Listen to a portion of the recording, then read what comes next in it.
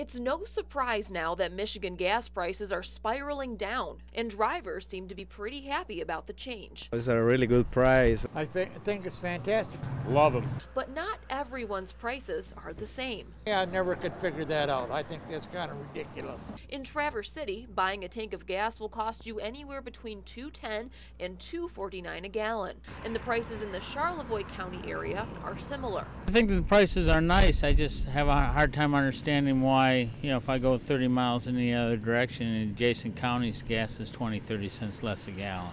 It's a little bit less, and I hope eventually those prices get up here for everybody. Down in Cadillac, gas can be found for around $1.84, and in Clare County, drivers are filling up their tanks for even less than that. I think it's great for $1.70. I wish uh, Manistee would follow suit. So, why are we seeing these price gaps? Analysts at GasBuddy.com say it's all about price wars. Generally, price wars start out between just a few stations, and sometimes they can grow, which is what I suspect would have happened uh, in an area like Cadillac, where prices are now $1.84. It was probably started by one station.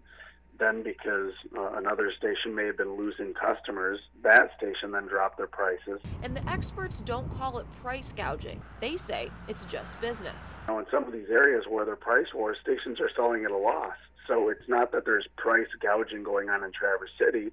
It's just that in a lot of these communities, Cadillac, for example, where stations are at $1.84, they're losing money. In Lowell, Michigan, which is nearby Grand Rapids, stations are at $1.77, they're losing money.